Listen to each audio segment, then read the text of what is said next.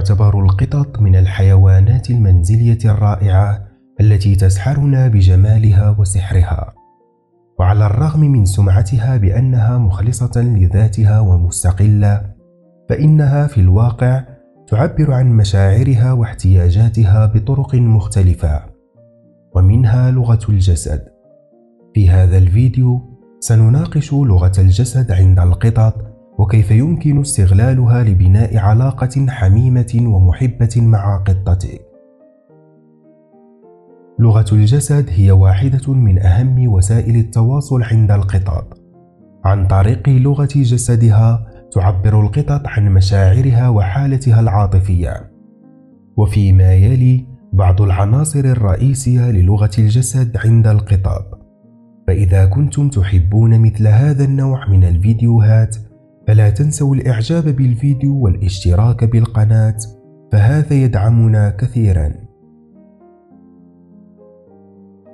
ذيل القطة. يعد ذيل القطة مؤشرا قويا لحالتها العاطفية. عندما يكون الذيل مرفوعا ومستقيما فهذا يعني أن القطة سعيدة ومرتاحة.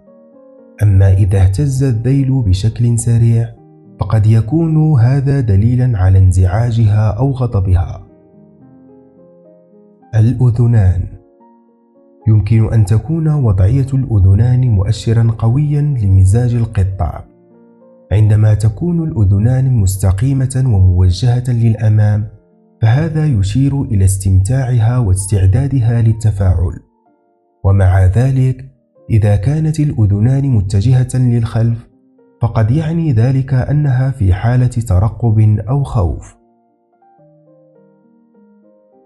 لغة الجسد العامة تشمل هذه العناصر اللغة الجسدية العامة للقطط مجموعة متنوعة من الإرشادات والحركات مثل وضعية الجسد وموقف الرأس وحركات العيون والعضلات الوجهية واللمسات والاحتكاكات على سبيل المثال إذا كانت القطة تقوم بالاستدارة على ظهرها وعرض بطنها فهذا يعبر عن شعورها بالأمان والراحة بوجودك. أما إذا انحنت بشكل متدحرج وجعلت جسدها صغيرا فقد تكون في حالة توتر أو خوف.